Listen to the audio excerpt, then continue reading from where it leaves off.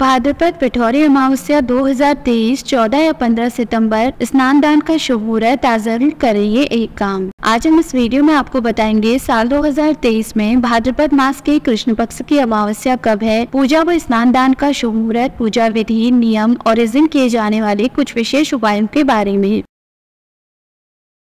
Hello friends स्वागत है आपका आपके अपने चैनल उपचार नुस्खे में। शास्त्रों के अनुसार भाद्रपद मास में आने वाली अमावस्या बहुत ही खास मानी जाती है। भाद्रपद कृष्ण अमावस्या को भादो कुशा गृहिणी और पिठौरी अमावस्या भी कहते हैं। इस दिन कुशा नामक घास इकट्ठा की जाती है। मान्यता है कि कुशा के बिना मंगल कार्य, धार्मिक कार्य और कोई भी शुभ कार्य पूर्ण नहीं होते। इस दिन नदियों में स्नान के बाद दान का विशेष महत्व है। आइए जानते हैं साल दो हज़ार तेईस में भाद्रपद अमावस्या तिथि पूजा का शुभ मुहूर्त स्नान दान का समय, पूजा विधि, नियम और इस दिन कौन से कार्य करना शुभ होता है? भाद्रपद अमावस्या शुभ मुहूर्त 2023 साल 2023 में भाद्रपद या पिठौरी अमावस्या 14 सितंबर गुरुवार को होगी। अमावस्या तिथि प्रारंभ होगी 14 सितंबर, प्रातःकाल चार बजकर अड़चालीस मिनट पर। अमावस्या तिथि समाप्त होगी 15 सितंबर, प्रातःकाल सात बजकर नौ मिनट पर। पूजा का शुभ मुहूर्त होगा प्रातःकाल ग्यारह बजकर बावन मिनट ऐसी दोपहर बारह बजकर इकचालीस मिनट। स्नान दान का समय होगा प्रातःकाल चार बजकर तैतालीस मिनट से प्रातःकाल पाँच बजकर उन्नीस मिनट।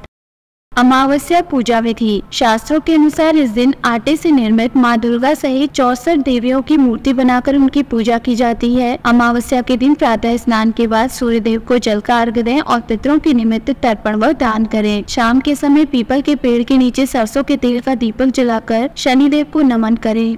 भाद्रपद अमावस्या नियम। शास्त्रों के अनुसार अमावस्या तिथि पितरों की तिथि मानी जाती है। इस दिन तामसिक चीज़ों का सेवन नहीं करना चाहिए। अमावस्या के दिन प्रातःकाल देर तक नहीं सोना चाहिए। इस दिन घर में कला जैसे कार्य नहीं करने चाहिए। मान्यता है कि अमावस्या के दिन नकारात्मक शक्तियाँ बहुत ज़्यादा सक्रिय रहती है। इस दिन देर रात घर से बाहर नहीं रहना चाहिए। अमावस्या के दिन कोई भी शुभ या मांगलिक कार्य नहीं करना चाहिए। भाद्रपद अमावस्या उपाय। शास्त्रों के अनुसार भाद्रपद अमावस्या के दिन स्नान के बाद पितरों के लिए अपनी सामर्थ्य अनुसार कपड़े और अन्न का दान करना चाहिए। इससे पितर प्रसन्न होते हैं। भाद्रपद अमावस्या पर पितृ दोष से निजात पाने के लिए पवित्र नदियों में कुशा नामक घास मिश्रित जल से तर्पण करना चाहिए। इससे पितृ प्रसन्न होते हैं और पितृ दोष दूर होता है। भाद्रपद अमावस्या के दिन पीपल की सात परिक्रमा कर जल चढ़ाने से माँ लक्ष्मी प्रसन्न होती है। फ्रेंड्स अगर आपको हमारे द्वारा दी गई ये सभी जानकारियाँ पसंद आई हो तो आप उपचार नुस्खे चैनल को सब्सक्राइब लाइक और शेयर करना ना भूलें।